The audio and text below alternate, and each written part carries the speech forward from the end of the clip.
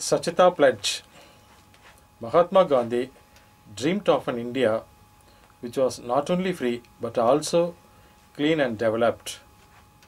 Mahatma Gandhi secured freedom for Mother India.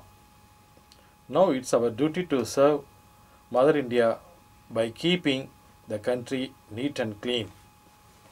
I take this pledge that I will remain committed towards cleanliness and devote time for this. I will devote 100 hours per year, that is 2 hours per week, to voluntarily work for cleanliness.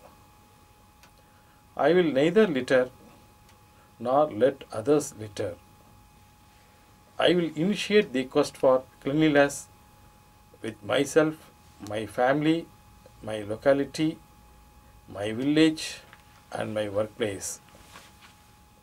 I believe that the countries of the world that appear clean are so because their citizens don't indulge in littering nor they allow it to happen.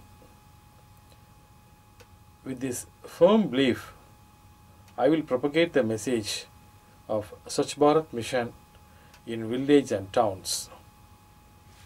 I will encourage 100 other persons to take this pledge which I am taking today. I will endeavor to make them devote their 100 hours of cleanliness. I am confident that every step I take towards cleanliness will help in making my country clean.